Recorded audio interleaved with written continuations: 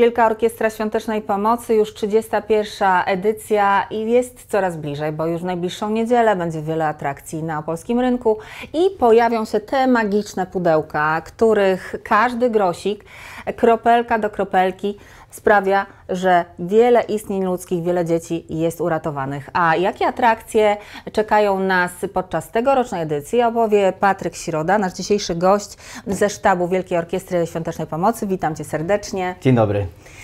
Co nas czeka? Jakie koncerty, jakie atrakcje, ostatnie, mm, e, ostatnie e, odsłony, edycje Wielkiej Orkiestry były albo pod hasłem pandemii, albo wichury. E, miejmy nadzieję, że tegoroczna edycja będzie naprawdę udana i no, na co możemy liczyć?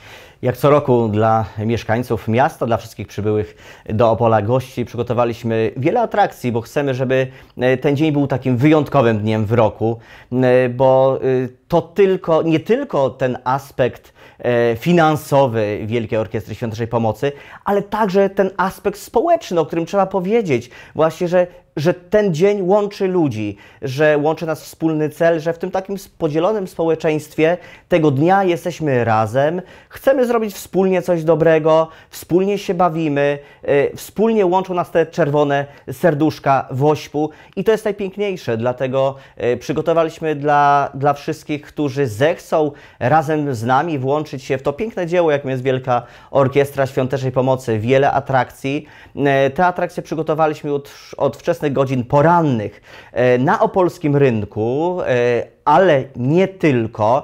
Jeżeli chodzi o rynek, e, będziemy mieli chociażby krwiobusa, e, ponieważ e, chcemy pomagać także w ten sposób, żeby ratować życie, bo Wielka Orkiestra to nie tylko zbiórka na konkretny cel, w tym roku jest to sepsa, ale także mówimy, że chcemy grać, chcemy żyć w zdrowym świecie, a więc chcemy tworzyć ten zdrowy świat, chcemy dbać o zdrowie i zatem też pojawi się ten krwiobus, abyśmy mogli po podczas tego dnia zebrać jak największą ilość krwi, e, która będzie ratować życie, będzie ratować zdrowie. Być może każdemu z nas, oby nie. Być może każdemu z nas. Nigdy nie wiadomo, kiedy taka mhm. sytuacja może nastąpić, ale y, te rezerwy e, e, żelazne powinny być zawsze zabezpieczone, a często jest z tym problem.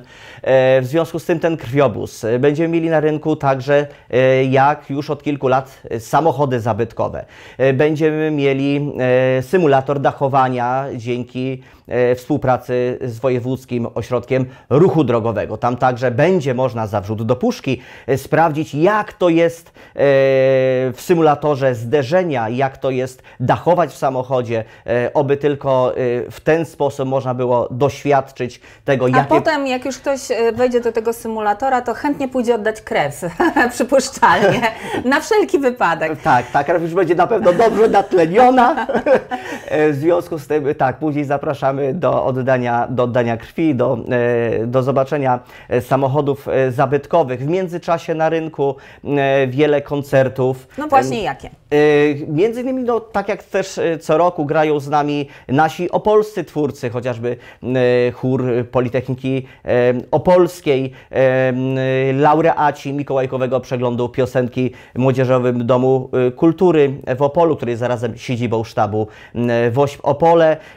No i oczywiście gwiazda wieczoru, to już zapowiedzieliśmy kilka dni temu, iż będzie to zespół Łzy, który wystąpi zaraz po światełku do nieba, e, a już tradycyjnie e, odeszliśmy od tego, że odpalamy fajerwerki, dbamy o naszych e, małych pupili, o nasze zwierzęta, dbamy o środowisko, no i też myślimy o naszych gościach z Ukrainy, nie strzelamy, zatem już kolejny raz będzie to pokaz E, laserowy.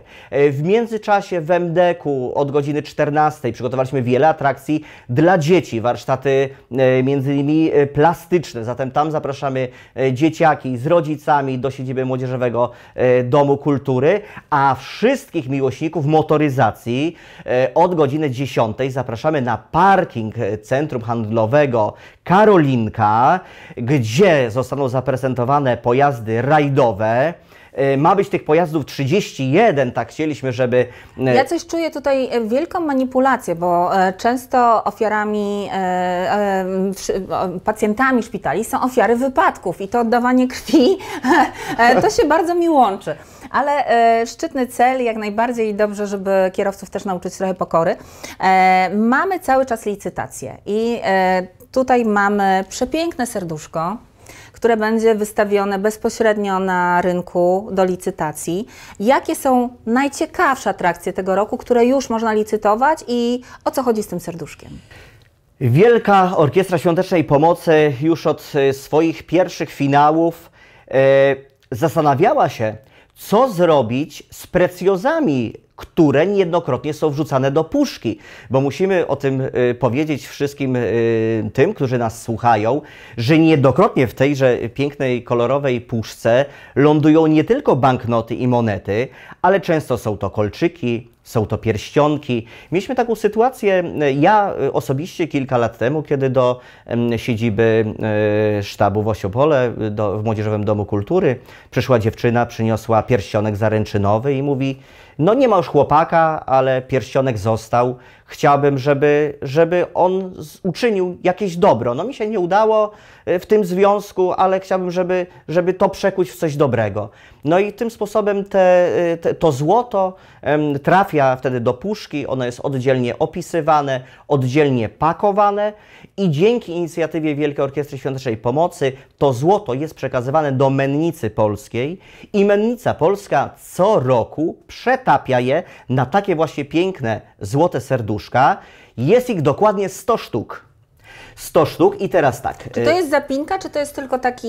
e, Można ją przypiąć? Można ją? Mhm. przypiąć, aczkolwiek e, myślę, że ona najpiękniej się prezentuje właśnie e, w takim przygotowanym specjalnie pudełeczku. Numer 13, serduszka, bo one są numerowane od 1 do 100. Numer 13 zawsze zostaje w siedzibie Fundacji w Warszawie co roku, a e, e, 15 serduszek trafiło do sztabów w tym 3 z- do sztabów zagranicznych, a 12 serduszek do sztabów na terenie Polski. W tym E, jedno jest u nas w w tym Opolu. jedno jest u nas w Opolu z numerem 99. W związku z tym Piękny na te numer. 100 serduszek numer 99 jest w Opolu. E, Ja przygotowując się do naszego spotkania sprawdziłem, ponieważ reszta tych serduszek jest na licytacji, która już się odbywa poprzez stronę e, Wielkiej Orkiestry Świątecznej Pomocy i w tym momencie najwyższa oferowana kwota za takie oto serduszko to jest 177 tysięcy złotych. Wow. I też dodam, że e, Ciężko będzie przebić. że ciężko będzie przebić na pewno, dlatego właśnie, że rekordowa cena, jaką osiągnęło złote serduszko, to jest milion sto tysięcy złotych.